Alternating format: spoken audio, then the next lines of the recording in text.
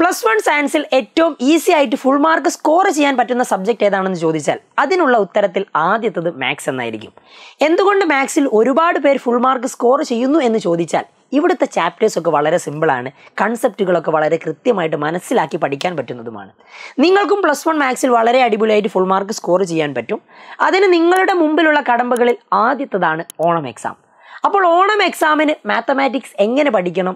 ഏതൊക്കെ ചാപ്റ്റേഴ്സ് പഠിക്കണം? ഏതൊക്കെ ചാപ്റ്റേഴ്സിൽ നിന്ന് എന്തൊക്കെ കാര്യങ്ങൾ പഠിക്കണം എന്നുള്ളതാണ് നമ്മൾ ഈ ഒരു വീഡിയോയിൽ ഡിസ്കസ് ചെയ്യാൻ പോകുന്നത്. നിങ്ങൾ പ്ലസ് വൺ മാത്സ് പഠിക്കുന്ന ഒരു വിദ്യാർത്ഥിയാണെങ്കിൽ തീർച്ചയായിട്ടും ഈ വീഡിയോ കാണുക. ഹൈ ഗായ്സ് എന്റെ പേര് ഷാമിൽ വെൽക്കം ടു എജുപോൺ പ്ലസ് വൺ മാത്സിൽ ഓണം എക്സാമിന് നിങ്ങൾ പ്രിപ്പയർ ചെയ്തുകൊണ്ടിരിക്കുകയാണെങ്കിൽ നിങ്ങൾക്ക് പഠിക്കാനുള്ളത് ആകെ അഞ്ച് ചാപ്റ്റേഴ്സാണ് ആദ്യത്തെ ചാപ്റ്റേഴ്സ് സെറ്റ്സ് രണ്ടാമത്തത് റിലേഷൻസ് ആൻഡ് ഫംഗ്ഷൻസ് മൂന്നാമത്തത് ട്രിഗണോമെട്രിക് ഫംഗ്ഷൻസ് നാലാമത്തത് കോംപ്ലക്സ് നമ്പേഴ്സ് ആൻഡ് അഞ്ചാമത്തത് ലീനിയർ ഇനീക്വാലിറ്റീസ്. ഈ അഞ്ച് ചാപ്റ്റേഴ്സിൽ നിന്ന് ആദ്യത്തത് സെറ്റ്സ് എന്ന് പറയുന്നത് വളരെ ഈസി ആയിട്ട് നിങ്ങൾക്ക് പഠിച്ചെടുക്കാൻ പറ്റുന്നതാണ്. എന്തൊക്കെ ഈ ചാപ്റ്റേഴ്സിൽ നിങ്ങൾ പഠിക്കണം? First one set builder and roster form set builder ഫോമിലേക്കും roster ഫോമിലേക്കും കൺവേർട്ട് ചെയ്യുന്നത് കൃത്യമായിട്ട് മനസ്സിലാക്കിയിരിക്കണം. പിന്നെ രണ്ടാമത്തത് types of sets types of സെറ്റ്സിൽ സെറ്റിൽ എം ടി സെറ്റ് വരും ഈക്വൽ സെറ്റ് വരും. സബ്സെറ്റ് വരും. അതേപോലെ തന്നെ യൂണിവേഴ്സൽ സെറ്റ് വരും. സബ്സെറ്റിൽ റിയൽ നമ്പേഴ്സിന്റെ സബ്സെറ്റുകളെ നമ്മൾ ഇന്റർവെൽ ഫോമിലും റെപ്രസെന്റ് ചെയ്യാറുണ്ട്. അതെങ്ങനെയാണെന്നുള്ളത് കൃത്യമായിട്ട് മനസ്സിലാക്കണം. അവിടെ ഇന്റർവൽ ഫോമും സെറ്റ് ബിൽഡർ ഫോമും പഠിച്ചിരിക്കണം. നിർബന്ധമുള്ള കാര്യമാണ് എക്സാമിന് സ്ഥിരമായിട്ട് ചോദിക്കാറുള്ളത്.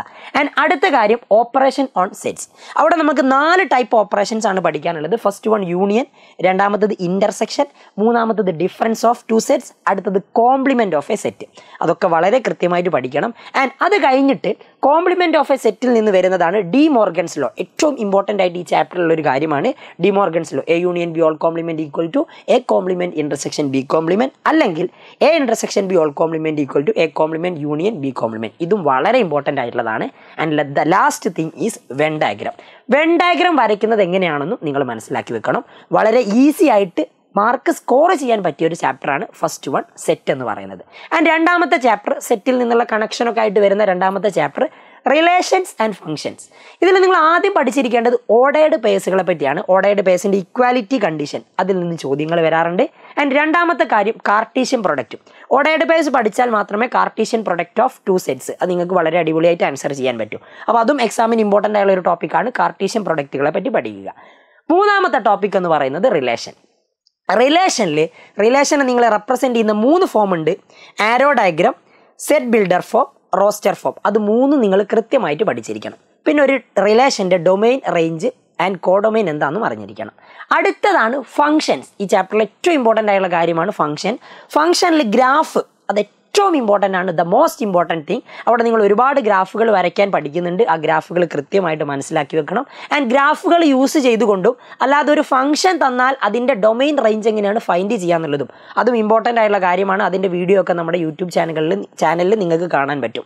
And the last thing is algebra of functions അത് സിമ്പിൾ ആയിട്ടുള്ള ടോപ്പിക്കാണ് എല്ലാവർക്കും അതിന്റെ ക്വസ്റ്റ്യൻസ് ആൻസർ ചെയ്യാനും ആൻഡ് അതിന്റെ എല്ലാ കാര്യങ്ങളും നിങ്ങൾക്ക് മനസ്സിലാക്കാനും പറ്റും. റെഡിയാണ് ഇനി അടുത്ത ചാപ്റ്റർ ട്രിഗണോമെട്രിക് ഫംഗ്ഷൻസ് ഈ അഞ്ച് ചാപ്റ്ററുകളിൽ കുറച്ചെങ്കിലും കുട്ടികൾക്ക് ബുദ്ധിമുട്ട് തോന്നുന്നത് ഒരു തോന്നുന്ന ചാപ്റ്ററാണ് ട്രിഗണോമെട്രിക് ഫംഗ്ഷൻസ് പക്ഷെ അത്ര വലിയ ബുദ്ധിമുട്ടൊന്നുമില്ല. വളരെ ഈസി ആയിട്ട് കാര്യങ്ങൾ മനസ്സിലാക്കിയാൽ.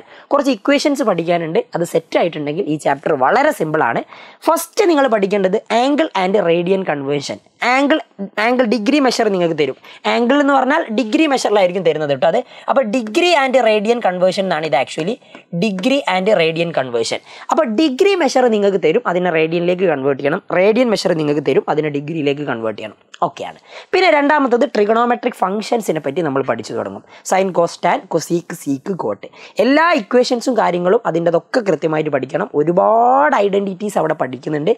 അത് പഠിച്ചിട്ട് പിന്നെ അതിന്റെ ചോദ്യങ്ങൾ നിങ്ങൾ ചെയ്യും. ട്രിഗണോമെട്രിക് ഫംഗ്ഷനെ പറ്റി അതിന്റെ വാല്യൂസിനെ പറ്റി കൃത്യമായിട്ടുള്ള ധാരണ ഉണ്ടായിരിക്കണം. വലിയ ആംഗിൾസ് വരുന്ന സമയത്ത് അതിന്റെ ട്രിഗണോമെട്രിക് വാല്യൂ എങ്ങനെയാണ് ഫൈൻഡ് ചെയ്യാന്നുള്ള ധാരണ ഉണ്ടായിരിക്കണം. ഓരോ ക്വാഡ്രന്റിലും ട്രിഗണോമെട്രിക് റേഷ്യൂസിന്റെ സൈനിനെ പറ്റി നിങ്ങൾക്ക് കൃത്യമായ ധാരണ ഉണ്ടായിരിക്കണം. പിന്നെ അത് വെച്ചിട്ടുള്ള ചോദ്യങ്ങളൊക്കെ നിങ്ങൾ ടെക്സ്റ്റിലുള്ള ചോദ്യങ്ങളൊക്കെ ചെയ്യുന്നുണ്ട് അതൊക്കെ കൃത്യമായിട്ട് പഠിച്ചിരിക്കണം. ആൻഡ് അതിനുശേഷം നിങ്ങൾക്ക് പഠിക്കാനുള്ളത് sum and differences of two angles ആണ്. കുറച്ച് ഇക്വേഷൻസ് ഉണ്ട്.